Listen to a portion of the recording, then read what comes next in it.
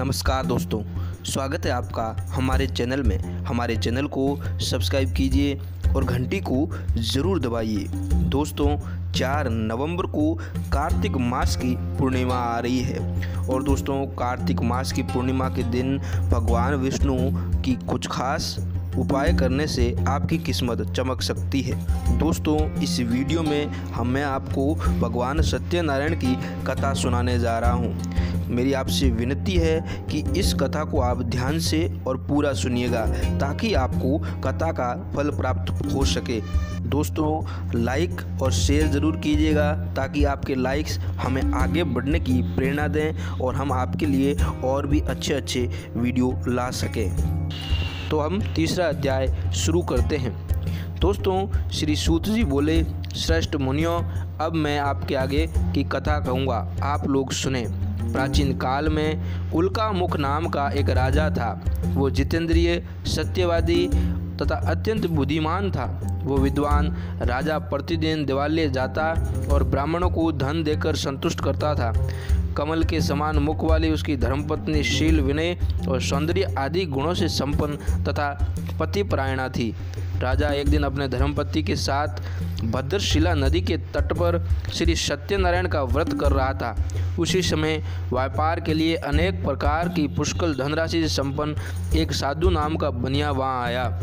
भद्र नदी के तट पर भावनाओं को स्थापित कर वो राजा के समीप गया और राजा को उस व्रत में दीक्षित देकर विनय पूर्वक पूछने लगा। साधु ने कहा, राजन, आप भक्ति युक्त चित्त से या क्या कर रहे हो? कृपया वो सब बताइए, इस समय मैं सुनना चाहता हूँ। राजा बोले, हे साधो, पुत्र आदि की प्राप्ति की कामना से अपने बंधु बांधवों के साथ मैं अतुल तेज संपन्न भगवान विष्णु का व्रत एवं पूजन कर रहा हूँ। राजा की बात सुनकर साधु ने आदरपूर्वक कहा, राजन, इस विषय में मुझे सब कुछ विस्तार से बतलाइए। आपके कथनानुसार मैं व्रत एवं पूजन करूँगा। मुझे भी संतति नहीं है, इससे अवश्य ही संतान प्राप्ति होगी। ऐसा विचार कर वो व्यापार से निवृत्त होकर आनंदपूर्वक अपने घर आया। उसने अपनी भार्या से संतान प्रदान करने वाले इस सत्य व्रत को विस्तार पूर्वक बताया, तथा जब जब मुझे संतान प्राप्त होगी, तब मैं इस व्रत को करूँगा। इस प्रकार साधु ने अपनी भार्या लीलावती से कहा। एक दिन उसकी लीलावती नाम की सती साध्वी भार्या पति के साथ आनंद चित्त ऋतुकालीन धर्माचरण में प्रवृत्त हुई और भगवान सत्यनारायण की कृपा से उसकी पत्नी ने गर्भ धारण किया। दसवें महीने में उसने कन्या रत्न की उत्पत्ति हुई और वो शुक्ल पक्ष के चंद्रम की भांति दिन प्रतिदिन बढ़ने लगी। इस कन्या का कलावती नाम रखा गया। इसके बाद एक दिन लीलावती ने अपने स्वामी से मधुर वाणी में कहा, आप पूर्व में संकलित श्री सत्यनारायण के व्रत को क्यों नहीं कर रहे हो? साधु बोला, प्रिय, इसके विवाह के समय व्रत करूँगा। इस प्रकार अपनी पति को भली भांति और अपनी पत्नी को भली भांति आश्वत कर वो व्यापार करने के लिए नगर की ओर चला गया। इधर कन्या कलावती पिता के घर में बढ़ने लगी। धीरे धीरे धर्मज्ञ साधु ने नगर में सखियों के साथ क्रीड़ा करती हुई कन्या को विवाह योग्य देखकर आपस में मंत्रणा करके कन्या विवाह के लिए श्रेष्ठ वर का अन्वेषण करो, ऐसा दूध से कहकर शीघ्र ही उसे भेज दिया। उसकी आज्ञा प्राप्त करके दूध कांचन नामक नगर में आ गया और वहाँ एक वणिक का पुत्र लेकर आया। उस साधु ने उस वणिक के पुत्र को सुंदर और गुणों से संपन्न देखकर अपने जाति के लोगों बंधु बांधवों के साथ संतुष्ट चित्त हो विधि विधान से वणिक पुत्र के हाथ में कन्या का दान कर दिया। उस समय वो साधु बंदियाँ, दुर्भाग्यवश भगवान का वो उत्तम व्रत भूल गया। पूर्व संकल्प के अनुसार विवाह के समय व्रत न करने के कारण भगवान उस पर रुष्ट हो गए। कुछ समय के पश्चात उसने अपने व्यापार क्रम में कुशल व साधु बनिया काल की प्रेरणा से अपने दामाद के साथ व्यापार करने के लिए समुद्र के समीप किसी रतनसारपुर नामक सुंदर नगर में गया और अपने श्री संपन्न दामाद के साथ वहाँ व्यापार करने लगा। उसके बाद राजा चंद्रकेतु के रमणीय नगर उस नगर में गए। इसी समय भगवान श्री सत्यकार नारायण ने उसे भ्रष्ट प्रतिज्ञा देखकर इसे दारुण, कठिन और महान दुख प्राप्त होगा, ये श्राप दे दिया। एक दिन एक चोर राजा चंद्रकेतु के धन को चुराकर वहीं आया, जहाँ दोनों वणिक रहते थे। वो अपने पीछे दौड़ते हुए दूतों को देखकर भयभीत चित्त होकर धन वहीं छोड़कर शीघ्र ही छिप गया। इसके बाद राजा के दूत वहाँ गए, जहाँ वो साधु वणिक था।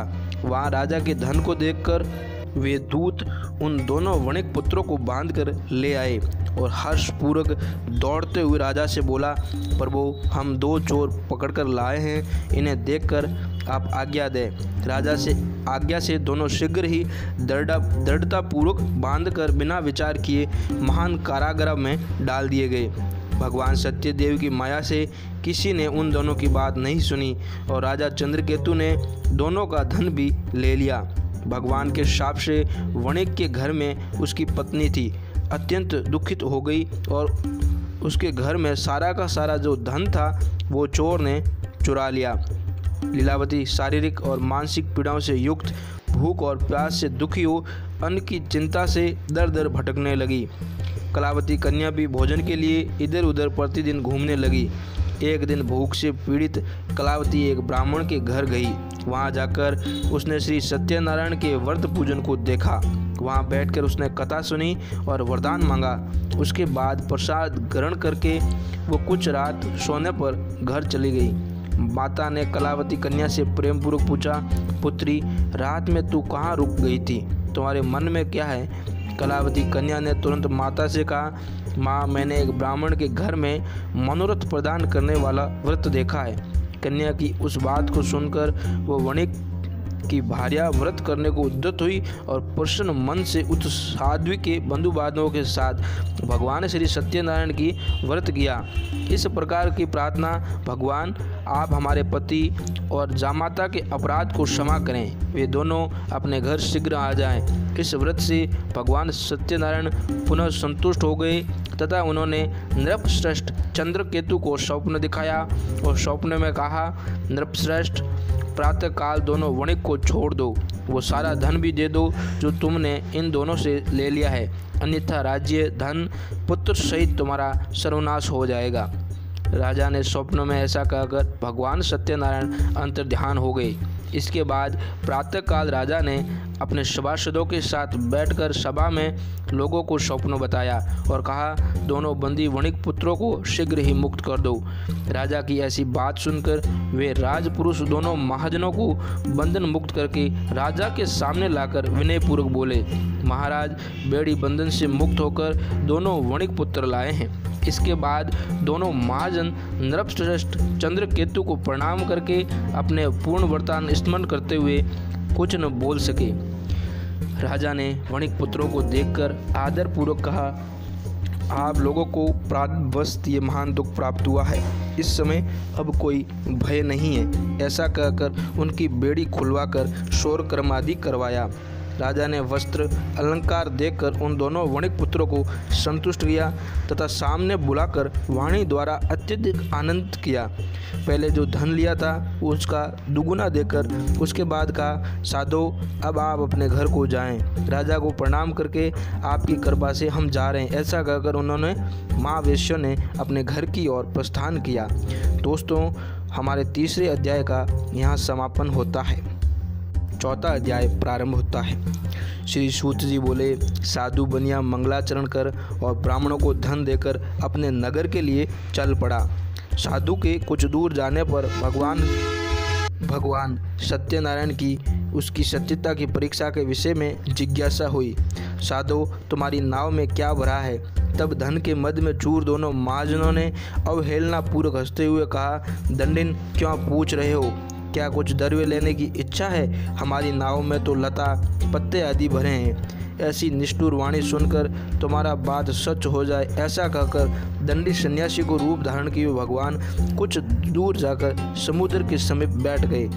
दंडी के चले जाने पर नित्य क्रिया के पश्चात उतराई हुई अर्थात जल के ऊपर की गई, उठी हुई नौका को देखकर साधु अत्यंत आश्चर्य में पड़ गया और नाव में लता पत्ता आदि देखकर मूर्छित हो पृथ्वी पर गिर पड़ा। सचेत होने पर वणिक पुत्र चिंतित हो गया। उसके बाद उसके दामाद ने इस प्रकार कहा, आप शोक क्यों करते हैं? दंडी ने साप दे दिया है। इस स्थिति में वे ही चाहें तो सब कुछ कर सकते हैं। इसमें संचय नहीं। अतः उसी की शरण में हम चलें। वहीं मन की इच्छा पूरी होगी दामाद की बात सुनकर साधु बनिया उनके पास गया और वहाँ दंडी को देखकर उसने कहा, भक्तिपूर्वक उन्हें प्रणाम किया तथा आदक पूर्वक कहने लगा कि मैंने जो कुछ भी किया है, वो मुझे क्षमा करें। ऐसा कहकर वो बारंबार प्रणाम करके शोक से व्याकुल हो उठा। दंडी ने उसको रोता देखकर कहा कि मेरी पूजा से उदासीन होने के कारण और मेरी आगे से तुमने बारंबार दुख प्राप्त किया है। भगवान की ऐसी वाणी सुनकर वो भगवान के आगे हाथ जोड़कर माफ़ी मांगने लगा। दोस्तों, ऐसा करने से भगवान उससे खुश हो गए और भगवान ने उसको आशीर्वाद दिया। भगवान हरि से अभिष्ट व्रत प्रदान करके वो अंतर्ध्यान हो गए। उसके बाद साधु अपनी नौका में चढ़ा और उसे वापस धन धान्य से परिपूर्ण देखा। भगवान सत्यदेव की कृपा से हमारा मनोरथ सफल हो गया। ऐसा कहकर वो भगवान की पूजा करने लगा। वो अपने देश के लिए चला गया। साधु ने, बनिया ने अपने दामाद से कहा, वो देखो, मेरी रतनपुरी नगरी दिखाई दे रही है। इसके बाद उसने अपने धन के रक्षित दूत को अपने आने का समाचार देने के लिए अपनी नगरी में भेजा। इसके बाद उस दूत ने नगर में जाकर साधु की पत्नी को देखकर हाथ जोड़कर प्रणाम किया और उसके लिए कहा शेठ जी, अपने दामाद और बंधु वर्गों के साथ बहुत सारे धन धान्य से संपन्न होकर नगर के निकट आए हैं। दूध के मुख से ये बात सुनकर आनंद से व्यूल हो गई।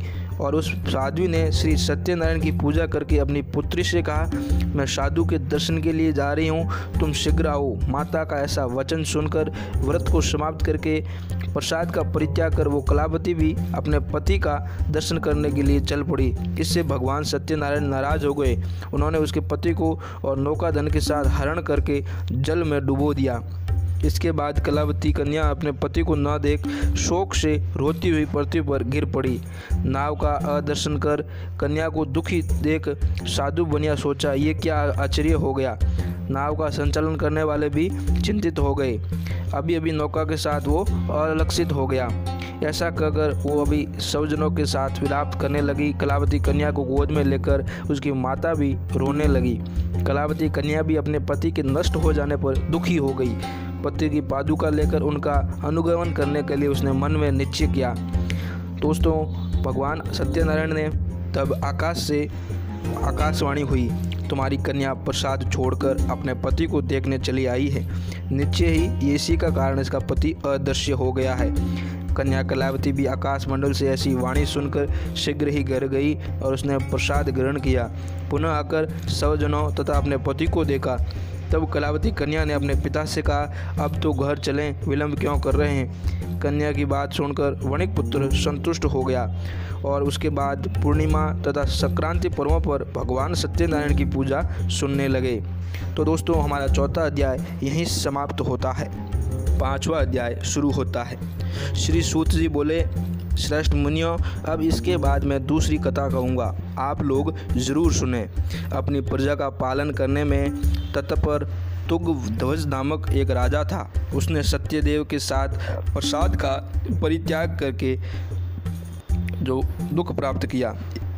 सत्यदेव के प्रसाद के परित्याग करने से एक बाद वो वन में जाकर वहाँ बहुत से पशुओं को मारकर वट वरस के नीचे आया।